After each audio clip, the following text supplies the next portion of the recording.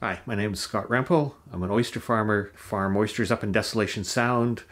Been at this about 35 years.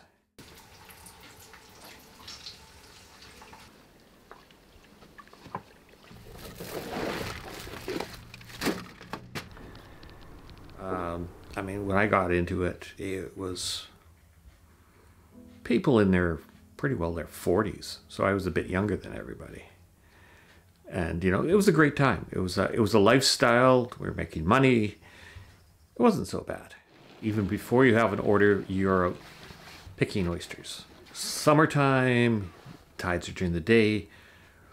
Winter they're at night. So we're doing all sorts of hours. Weather was always a, a joy in this area. We would uh, beach the boat and then proceed to pick various sizes of oysters on speculation.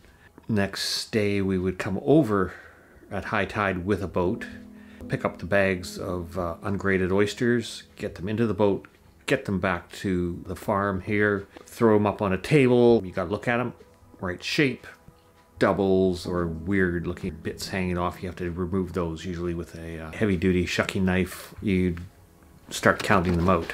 Uh, usually smalls, extra smalls are 10 dozen per bag, mediums 5, larges 3 or whatever. So you just start bagging those, uh, color code them so that you're not just looking at a bag at, on the beach.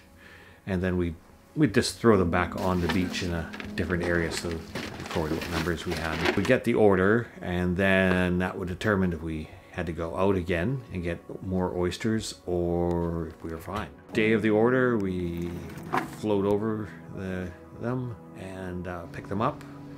Tyvek tags that have to go into the, uh, the bags. And, uh, and then it's off to Squirrel Cove.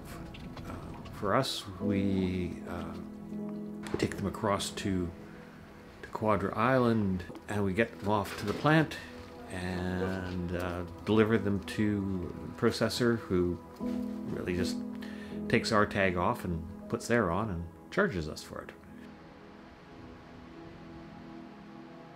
Ocean conditions are changing dramatically, which is causing massive uh, larval death before they can even uh, set.